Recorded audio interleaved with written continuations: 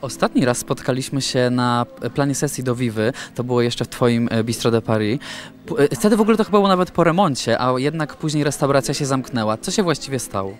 Restauracja tak e, się zamknęła, bo sprzedaliśmy ją, ale to był nieplanowany przed pandemią, bo w końcu to zamknęliśmy początek marca, kiedy już oddaliśmy klucze nowy właściciel i pandemia zaczynała 16. E, Tak wyszło, ale to, e, to żadna strata, bo już przygotujemy następną, jesteśmy w trakcie remoncie, teraz czekamy, myślę, że pod koniec lata, e, e, mam nadzieję, że we wrześniu być gotowy i już otworzyć. Szczęście w nieszczęściu, ale też chciałbym zapytać o ten nowy koncept. Co, co już możemy o nim powiedzieć? Co nas tam czeka jako gości i gdzie?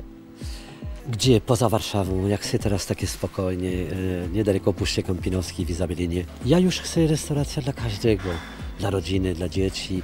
E, Ja już nie chcę walczyć i codziennie udowodnić, nie wiem co, komukolwiek. Ja chcę e, mieć fun, ja chcę teraz przyjemności, gości swoje e, ludzi i, i to nie jest stricte biznes, to jest już bardziej dokonać swój zawód z wielkim sercem i z uśmiechem. I takie, taki jest mój cel, mam nadzieję, że udaje się.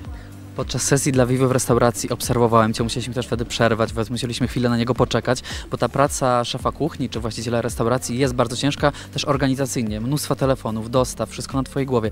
Nie myślałeś o tym, by kiedyś być tylko twarzą jakiejś restauracji? Ja bym nie dał rady być twarzą restauracją, bo bym patrzył... Nie, nie, to nie... To nie, to Odpowiedzialność przerzucić na kogoś, niektórzy tak robią. Nie, tak ja nie wyobrażam sobie. Ja wychowany jako kucharz i to jest nasze marzenie. Każdy kucharz marzy być o to, żeby być właścicielem. Teraz e, być twarzem restauracji, nie, nie by nerwowo e, by nie wytrzymał, to emocjonalnie by nie wytrzymał. E, ja muszę tego robić. Czasami za dużo. Powinienem umieć też delegować. To nie znaczy być twarzem, ale delegować. Muszę trochę się uczyć tego. Ale być twarzem nie i tego nigdy nie będę.